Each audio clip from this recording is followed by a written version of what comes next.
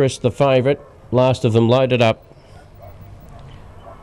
311 metres. Green light. Set for the first. Ready.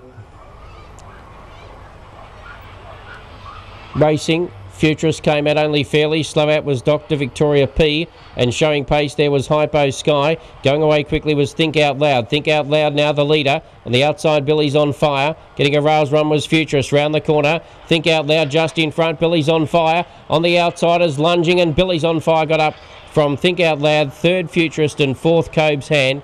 And behind those were Black Ops. Well back was Needs Luck with Dr. Victoria P. and Hypo Sky. 1807 is the rum.